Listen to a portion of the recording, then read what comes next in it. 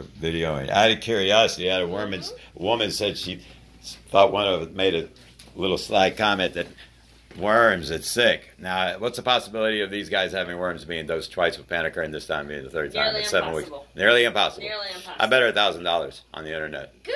I said, meet me at a mutual. I, I hope you I said, a thousand dollars because you uh, should. Panacur is the best dewormer when you follow it uh, according to its instructions.